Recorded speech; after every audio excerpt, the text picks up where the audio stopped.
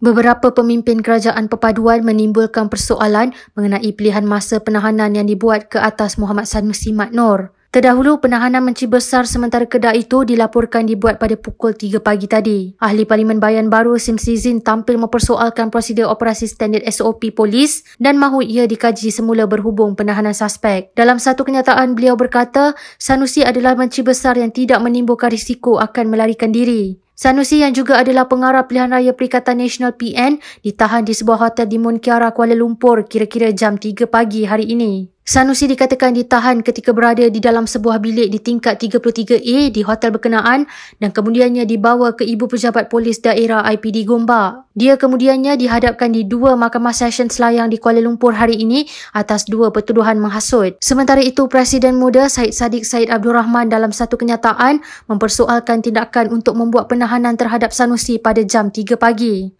Ahli Parlimen Muar itu turut mempertikaikan penggunaan akta hasutan ke atas Sanusi yang disifatkan sebagai drakonian dan lapuk serta menggesa akta tersebut dimansuhkan.